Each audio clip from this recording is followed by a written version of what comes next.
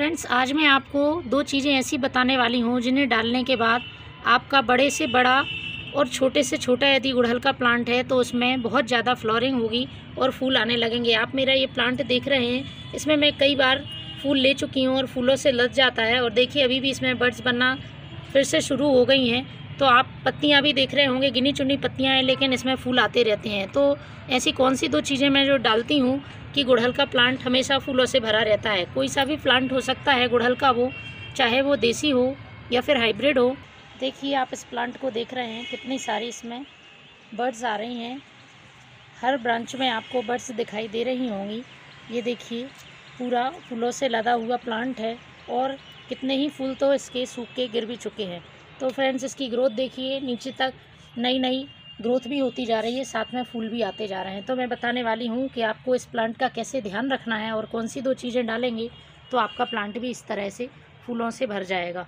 तो सबसे पहले तो फ्रेंड्स बात करते हैं हम इस प्लांट की सॉइल की, कि आपको सॉइल कैसी रखनी है। यदि प्लांट की सॉइल में बीट्स हैं किसी भी तरह के तो आप उनको बिल्कुल हटा दें, क्योंकि ये सारा न्यूट्रिएंट्स यही ले लेते हैं और हमारे प्लांट को नहीं मिल पाता है तो इस तरह से आप ये खरपतवार बिल्कुल हटा दें और मिट्टी की अच्छी तरह से गुड़ाई कर लें। उसके बाद मैं आपको बताने वाली हूँ कि आपको इस मिट्टी में क्या मिलाना है।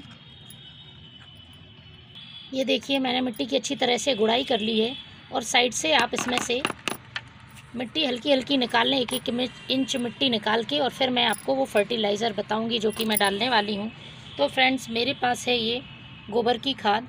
साथ ही में मैं इसमें थोड़ी सी नीम की खली भी मिला लेती हूँ, जिससे कि हमारे प्लांट की रूट्स में यदि किसी तरह का फंगस इन्फेक्शन है या किसी तरह की बीमारी है तो वो नीम की खली से दूर हो जाएगी। तो इसी में मैंने एक मुट्ठी ये गोबर की खाद ली है और इसमें मैं दो चम्मच भर के नीम की खली मिलाती हूँ।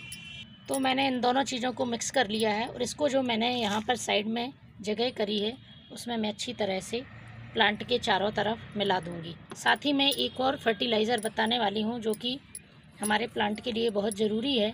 तो इसका काम रहेगा कि ये एनपीके से भरपूर है गोबर की खाद और हमारे प्लांट को बहुत अच्छी ग्रोथ देगी। आप प्लांट की ग्रोथ देख भी रहे हैं।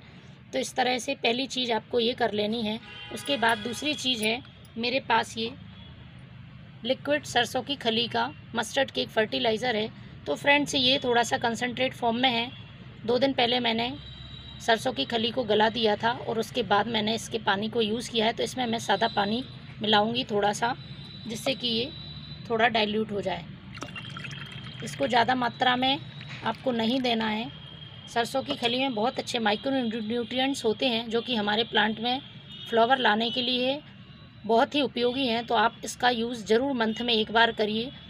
तो इस तरह से मैं मिट्टी में इस लिक्विड को भी डाल दूँगी। तो ये दोनों फर्टिलाइज़र हमारे जो गुड़हल के प्लांट हैं, उसमें भरपूर फ्लावर देंगे और बहुत अच्छी ग्रोथ देंगे। आप भी इस्तेमाल करके देखिए। Thank you